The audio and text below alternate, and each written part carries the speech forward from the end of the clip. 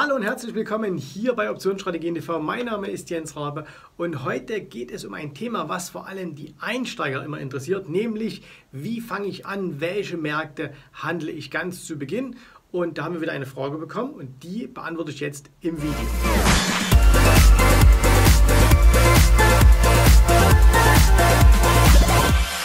Werdet euch vielleicht über den Hintergrund wundern. Ne? Also das hier, was ihr hier seht, ist ein Greenscreen. Und zwar bin ich bei uns hier im Studio.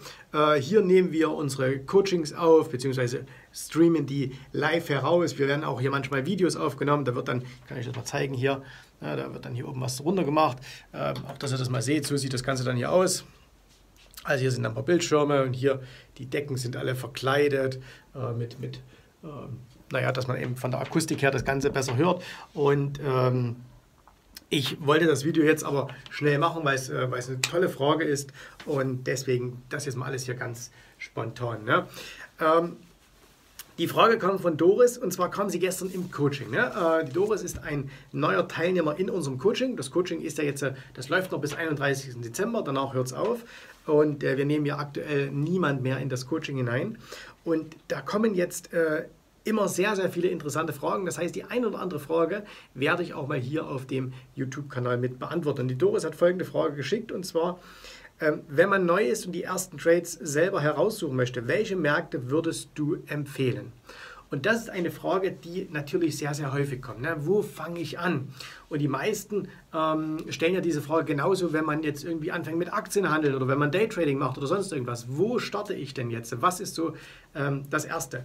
Und wir haben diese Frage gestern Abend schon etwas ausführlicher dann auch im Coaching behandelt und ich will mal hier aber äh, in dem Video noch so ein bisschen die Essentials, äh, wie, wie es heißt so schön, Essentials, ne? also die, die Basics zu dieser Frage nochmal ähm, herausgeben. Und zwar, es kommt natürlich immer ein bisschen auf deine Kontogröße an. Wenn du ein sehr kleines Konto hast, dann wirst du wahrscheinlich tendenziell eher in Richtung Aktienoptionen gehen. Hast du ein größeres Konto, ähm, dann wirst du wahrscheinlich eher im Bereich Future-Optionen starten. So, das heißt, da haben wir schon mal eine Splittung, die auch du selbst vornehmen kannst. Wie groß ist mein Konto?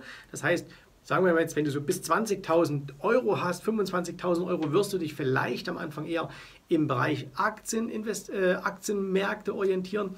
Und wenn du mehr als, oder wenn du ab 20, 25.000 ungefähr hast, dann kannst du auch schon in den Bereich Future-Optionen schauen. Jetzt schauen wir mal denjenigen an, der vielleicht nur 5.000 oder 10.000 Euro hat, das heißt, der wirklich äh, im Aktienmarkt sich umschaut. Und da ist mein Tipp immer am Anfang, fangt nicht unbedingt gleich mit einer einzelnen Aktie an. Das heißt, ähm, ihr könnt natürlich jetzt hergehen, könnt sagen, okay, ich interessiere mich für eine ganz bestimmte Aktie und äh, diese möchte ich jetzt entsprechend handeln. Ich würde euch aber immer empfehlen, fangt erstmal an mit einem Index.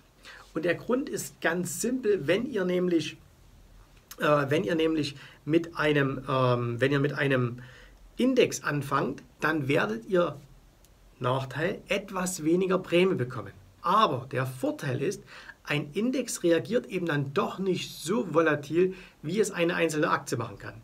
Und ähm, wir hatten ja jetzt vor einigen Tagen erst dieses, äh, dieses ähm, Ereignis. Es ist gerade Earnings Season, das heißt, die einzelnen Aktien berichten alle oder die einzelnen Companies berichten. Und das kann schon mal dazu führen, dass eine Aktie, äh, wenn sie eben positiv überrascht, dann springt sie stark nach oben. Wenn sie negativ überrascht, ähm, dann geht es auch eher mal ein bisschen nach unten. Und wir hatten das beispielsweise bei Netflix. Ne? Jetzt ist Netflix eine relativ teure Aktie, das heißt für einen Einsteiger ohnehin nicht so geeignet mit einem kleinen Konto.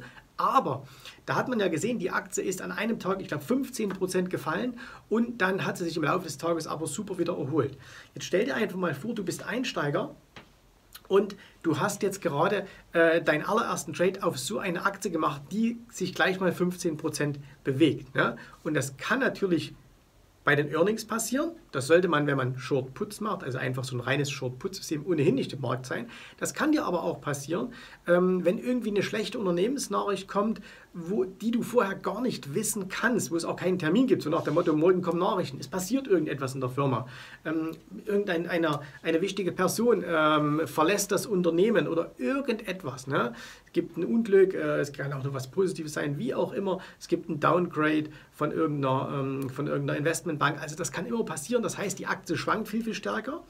Und das ist jetzt per se kein Problem, aber du musst wissen, wie du damit umgehst. Wenn du jetzt aber Und so ist ja die Frage, wenn du neu bist äh, und das zum allerersten Mal machst, würde ich immer versuchen, ein bisschen lahme Enden zu nehmen. Und da ist ein Index schon eine lahme Ente. Ne? Und das heißt, ich würde am Anfang eher versuchen, mal ähm, zum Beispiel Puts oder auch äh, gerne Bull-Put-Spreads, also lieber noch einen Put dazu kaufen, beispielsweise auf den S&P zu machen, ne? also auf den Spider beispielsweise. Oder aber auf den Russell 2000, IWM, EIWM. Ne? Oder wenn du auch willst, von mir aus auf den Nasdaq, auf die Qs. Ne? Also da gibt es ja viele, viele Möglichkeiten. Du kannst auch dir einen äh, ETF heraussuchen. Äh, das heißt einen Sektoren-ETF. Ne? Wir hatten ja schon darüber berichtet, du kannst die Sektoren nicht mehr, äh, beziehungsweise die ETFs nicht mehr direkt kaufen, aber du kannst immer noch Optionen darauf schreiben. So, und Deswegen such dir am Anfang einen Index heraus, äh, entweder einen Sektorindex oder einen, einen, Gesamtindex, weil der wird nicht so stark schwanken. Und dann mach am Anfang auch eins, wirklich kleine, kleine, kleine Positionen. Die kleinste, die du machen kannst. Ne? Und schreib von mir aus noch, ich hatte ja schon mal ein Video dazu gemacht, mach von mir aus einen Bull-Put-Spread dazu. Ähm, dass du also sagst, okay, äh, einen kleinen Bull-Put-Spread wo es gar nicht so sehr ums Verdienen geht, sondern wo du sagst, okay, ich habe mal den ersten Trade gemacht, ich bin mal, ich habe mir mal die Füße nass gemacht, bin mal reingetreten ins Wasser ähm, und nicht gleich sagen, okay, ich, ich bringe hier die Niagara-Fälle herunter. Okay, so, das also für die, die wenig Geld haben. Was machen jetzt aber die, die ein bisschen mehr Geld haben und die sagen, okay, ich will in die Future-Märkte hineingehen? Ähm, auch hier natürlich schauen, was sind die Märkte, die nicht ganz so extrem sind. Und extrem ist immer das, was wenig liquide ist. Machen wir ein Beispiel. Du kannst natürlich sofort auch, weil die Kontakt, Kontraktgröße nicht so groß ist, Lean Hogs handeln. Ne? Also Magerschwein ist kein teurer Markt, das heißt wenig Prämie, so gesehen kein allzu großes Risiko. Aber was ist der Nachteil wieder? Diese Märkte schwanken, wenn sie mal schwanken, dann sehr, sehr häufig äh, oder sehr, sehr stark, besser gesagt. Nicht so häufig, aber wenn, dann schon mal sehr, sehr stark. Die sind also sehr, sehr volatil. Ähm, oder aber beispielsweise so etwas wie Zucker oder Kakao oder Baumwolle.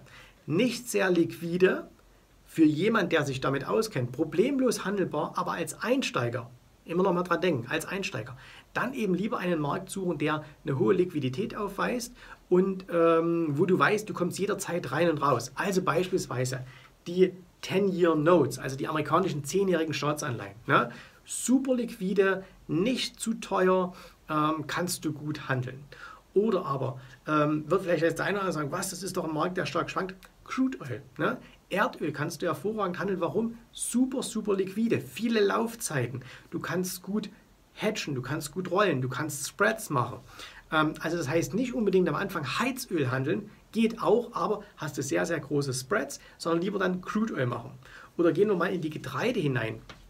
Dann vielleicht eher sowas machen wie Mais ähm, oder ähm, ja, Mais zum Beispiel, ne, das ist nicht allzu groß vom Umfang her, es lässt sich gut handeln, ist super liquide und vielleicht nicht unbedingt am Anfang gleich ähm, Sojabohnenöl oder Kansas-Weizen handeln. Warum? Sind auch gut handelbar, aber weniger liquide. Deswegen, wenn mal was ist, schwanken sie mehr. Weil du musst dir immer vorstellen, wenn die Liquidität nicht da ist, müssen die Market Maker, wenn Bewegung reinkommt, die Spreads weiter auseinander machen, um sich zu hatchen.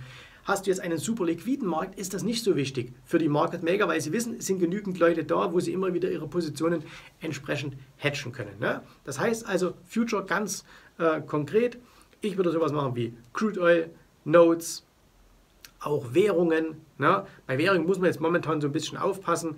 Äh, da würde ich also vielleicht lieber nicht zwingend in den Euro gehen, aber äh, auf gar keinen Fall in den Schweizer Franken, ja, überhaupt keine Liquidität. Aber du kannst zum Beispiel sowas wie die, den Aussie-Dollar, den Kanada-Dollar, die sind nicht so teuer.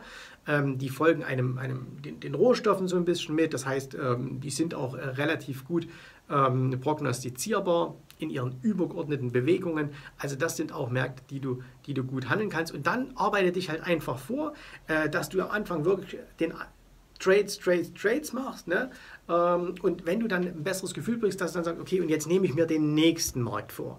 Also okay, ich starte vielleicht mit zwei, drei Märkten und wenn ich in jedem dieser Märkte, auch wenn es ein bisschen dauert, ein paar Trades gemacht habe, sagst du, okay, und jetzt schaue ich mir noch den nächsten Markt mit an. Das heißt, jetzt gehe ich vielleicht her und habe für mich aus am Anfang gemacht Mais und äh, Tenure Notes und von mir aus Crude Oil. Und dann sage ich, okay, und als nächstes nehme ich mir den Goldmarkt mit vor. als Beispiel. Oder als nächstes nehme ich mir ähm, den, den äh, Aussie-Dollar mit vor. Also dass du nach und nach deine Produktpalette erweiterst. Und wenn du nicht genau weißt, ist das jetzt ein Markt, der gut oder schlecht geeignet ist, schau immer auf die Liquidität, schau immer auf die Spreads. Sind die Spreads sehr weit, dann im Zweifelsfalle eher nicht. Sind die sehr eng, dann kannst du das auf jeden Fall machen. Okay, wenn ihr auch Fragen habt, ne, dann schreibt mir eure Fragen genau zu solchen Themen hier in die Kommentare. Gerne auch bei uns auf Facebook oder in unserer Facebook-Gruppe ähm, die Optionshändler. Und ähm, dann sehen wir uns wieder im nächsten Video. Euch bis dahin alles Gute, viel Erfolg an den Märkten. Danke fürs Zuschauen. Abonniert diesen Kanal. Wir sehen uns. Tschüss, Servus, macht's gut. Bye, bye.